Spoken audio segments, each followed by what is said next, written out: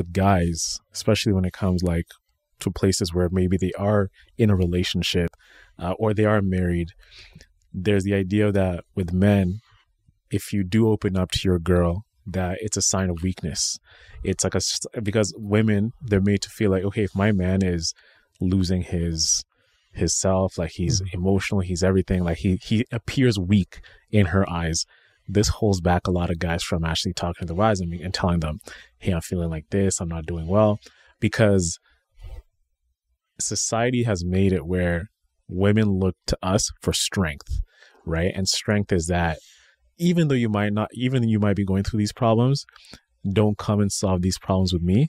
Maybe go talk to your boys. Maybe go talk to uh, a therapist.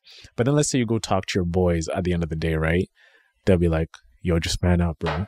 Uh, just man up.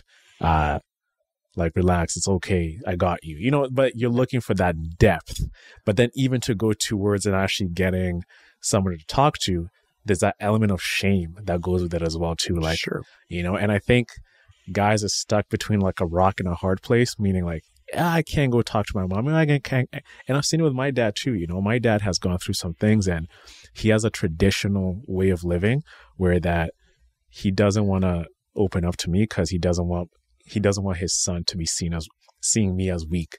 He doesn't want his wife to see him as weak or his daughters.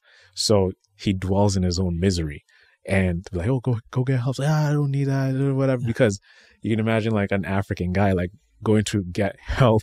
It's seen as ah, uh, like that is, you know, in all due respect, he sees it's like, oh, that's like white people problems. You know what I'm saying? So they there's that cultural aspect. Even though you're dwelling in your own misery, help is seen as a source of like, I'm weak.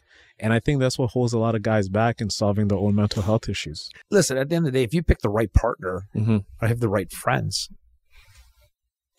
there's you don't have to share it with everybody. Pick somebody that you know that it's going to be like that you can help. And, just, and that's why sometimes you know you might even just need a psychiatrist. Just mm-hmm. go talk to somebody. Like again, they can understand that. But who are you helping when you don't talk about it?